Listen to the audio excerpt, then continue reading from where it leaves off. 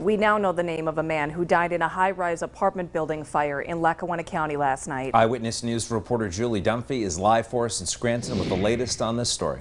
Julie? Good evening, Nick and Candace. The fire was ruled accidental. We still don't know exactly the cause of that fire, but just moments ago we learned the name of the man who died in the fire, 63-year-old Joseph Thomas, and the coroner says that he died of a cardiac arrest during the fire. One person was killed after a fire broke out in an apartment building in Scranton Sunday night. It's been determined as accidental by our fire investigators. It happened on the 500 block of Pine Street at the United House Apartments building. Shortly after dispatch, some of the additional information that came in through 911, and that was conveyed to the units as they were responding that there were potentially people trapped. 63 year old Joseph Thomas was pulled from the fire and taken to Regional Hospital of Scranton, where he was pronounced dead.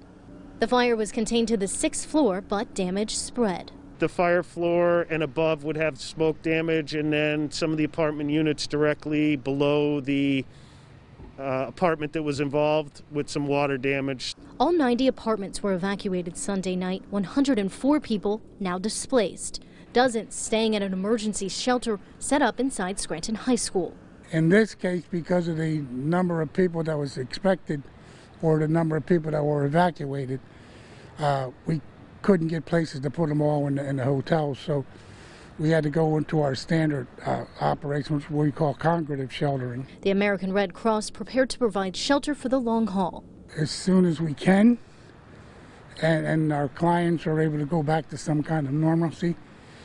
It, it, it could be a couple days, it could be, um, you know, a couple weeks. Back at the scene, crews on site working to clean up the damage left behind by the blaze. No word on when residents can return to their homes. A tough situation all around, and uh, you know we feel for them, and we're going to try our best to do anything we can to help them get back in. Now, firefighters did rescue a second person from the building. Their condition is still unknown. Now, residents actually are just as we are speaking now entering the building again. We will have more tonight from residents about the moment that the fire started last night. Reporting live in Scranton, Julie Dunphy, Eyewitness News.